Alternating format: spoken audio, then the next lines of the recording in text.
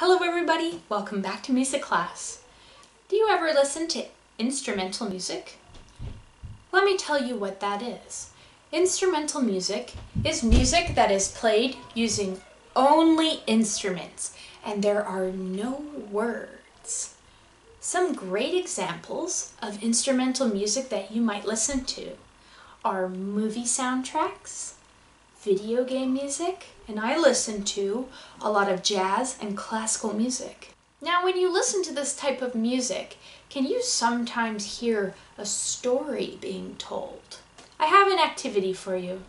Do you have a piece of paper and a pencil or something to color with? If you would like, you can pause the video here and go get what you need for this activity. I will wait right here. Good to go? Excellent.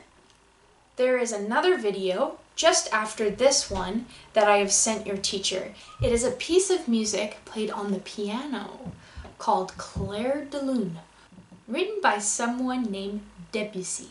I chose this piece of music because I imagine a story in my brain as I listen to the beautiful lines on the piano. For our activity, I want you to draw what you hear. When you listen to the music, you may get some creative ideas, and I want you to try to draw them as you listen to Clair de Lune. It can be anything that comes into your head. Would you like to see what I drew when I listened to this? You do? Okay. In the story that I heard, I drew a big tree with a little nest and there's a little egg in the nest. Then I drew a blue bird looking for food, and I imagined it being really windy, so I drew wind.